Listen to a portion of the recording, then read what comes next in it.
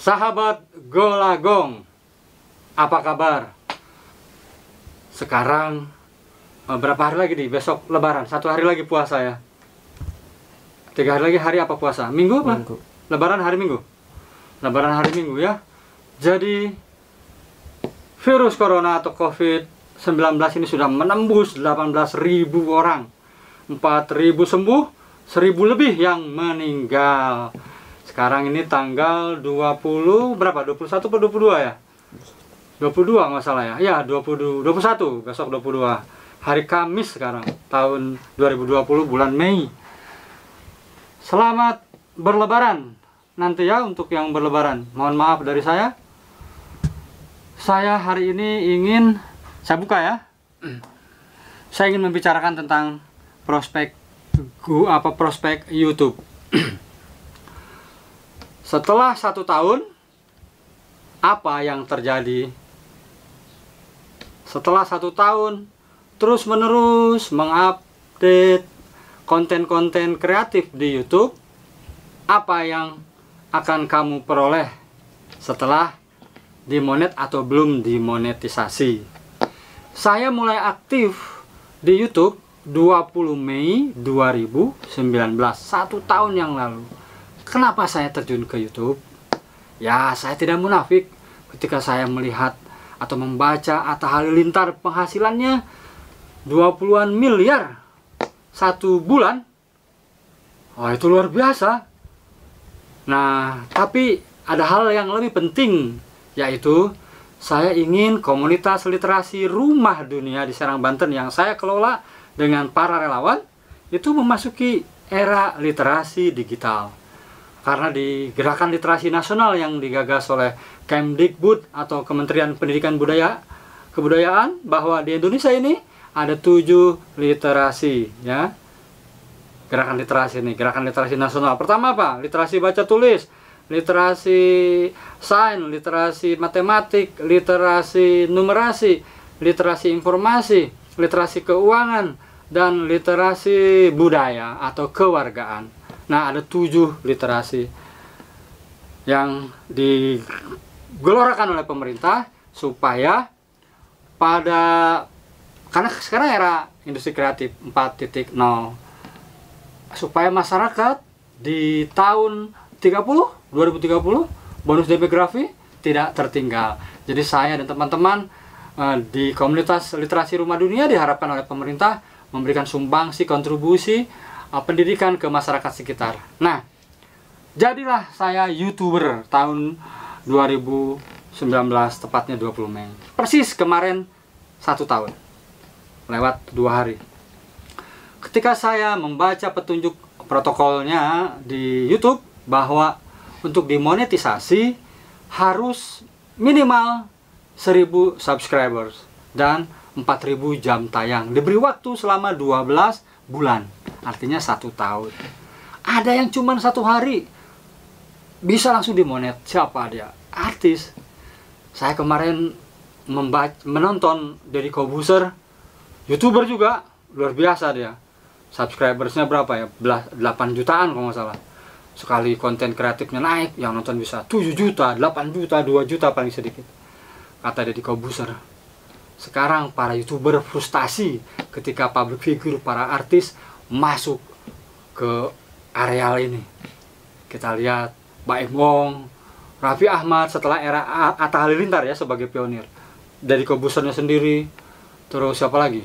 Eh Andre Taulani eh, kemudian banyak artis-artis yang kemudian meraup uang tidak sedikit ya. Bisa ratusan juta satu bulan. Nah kami ini yang mengais remah-remah pada akhirnya ya pada akhirnya kami mengais remah-remah juga. Tapi ini cukup fair lah YouTube itu. Dibutuhkan eh, kreativitas ya. Nah saya karena saya ini aktivis literasi tentu saya harus hati-hati.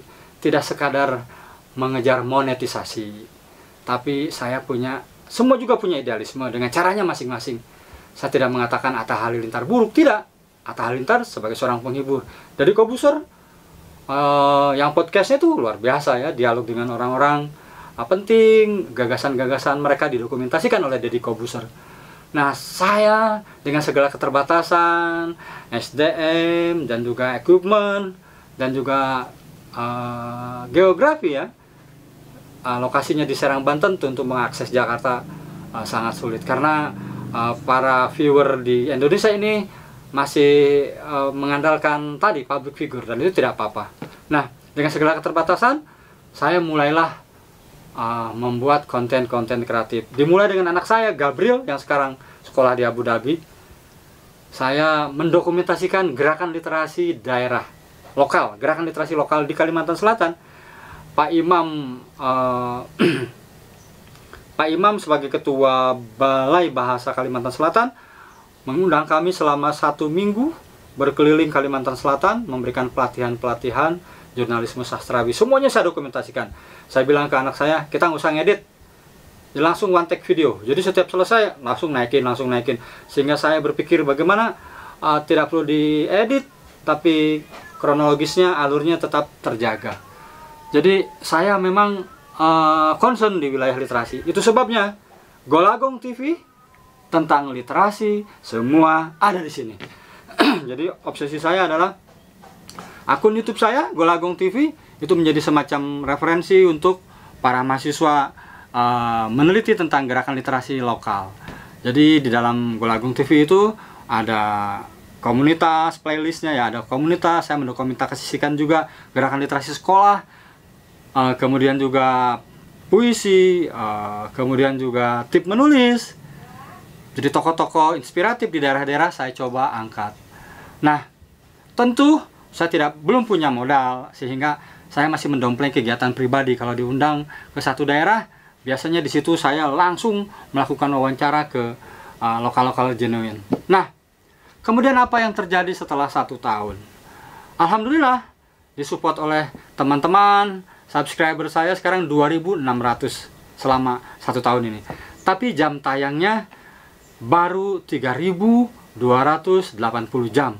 Jadi membutuhkan sekitar 720 jam lagi. Nah, simpang siur nih bahwa kalau dalam satu tahun tidak mencukupi dua hal tadi, subscriber 1000 minimal dan 4000 minimal jam tayang, katanya akan kembali ke nol lagi. Tapi saya lihat setelah dua hari berlalu, saya periksa masih normal tuh. Di situ tertulis subscriber saya minimal 1000 sudah 2600. Jam tayang saya minimal 4000 jam tayang tapi saya baru 3280 di bawahnya tetap tertulis jika memenuhi syarat kami untuk dimonetasi kami akan mengirimkan surat lewat email. Jadi Alhamdulillah selama lewat dua hari ini tidak ada sanksi apa-apa. Walaupun deg-degan tentu dan beberapa teman memberitahu Mas Gong paling nanti yang hilang tuh bulan Mei tahun lalu. Jadi bulan Mei tahun lalu jam tayangnya hilang berkurang berkurang. Tapi saya belum melihat tuh belum signifikan. Nah kepada yang nonton sekarang jika berkenan silakan tonton menu-menu hidangannya atau playlist di Golagong TV uh, Insya Allah edukatif rekreatif. Ya mohon maaf memang masih terbatas. Tidak bisa saya menyajikan secara mewah menu-menunya karena saya juga mengerjakan hal lain mudah-mudahan ke depannya menu-menu Golagong TV atau playlist Golagong TV bisa lebih lebih apa lebih bergaya tapi tetap edukatif dan tetap mengusung idealisme literasi. Golagong TV dunia kata, dunia imajinasi, dunia kita semua tentang literasi semua ada di sini.